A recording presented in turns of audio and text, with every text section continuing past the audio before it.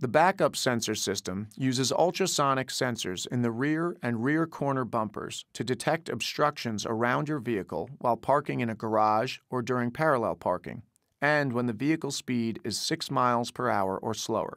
The system uses an intermittent beep sound to notify the driver of the approximate distance from the vehicle to the obstruction.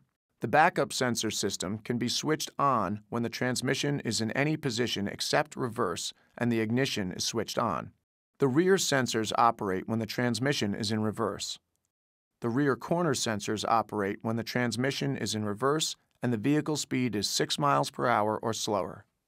Beginning from a distance of about 5 feet between your vehicle and the obstruction, the speed of the intermittent beep sound increases as the vehicle approaches the obstruction. The backup sensor system switches off when the vehicle speed is 6 miles per hour or faster, or when the backup sensor switch is pressed while the system is in operation.